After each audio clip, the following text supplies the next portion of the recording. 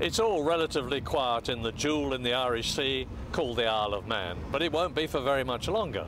Over there is England, over there is Ireland. But from all points all around the world, people are on their way here in their thousands to this very special island to see a very, very special event. It's the centenary of the Isle of Man TT races, the finest in the world. Let's go racing then.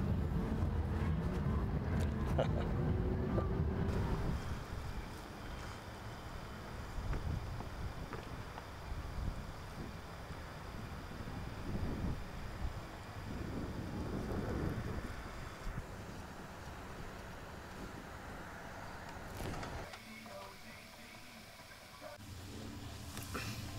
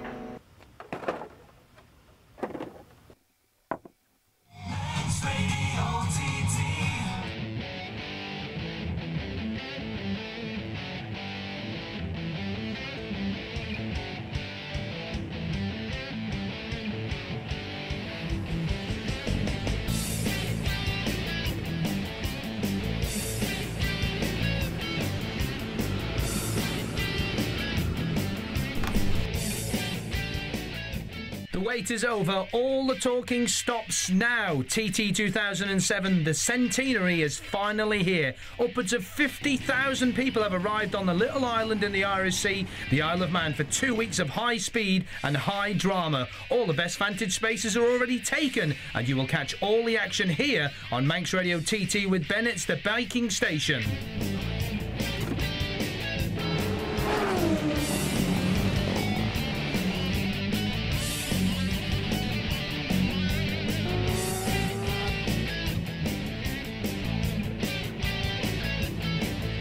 TT 2007, much please. Way.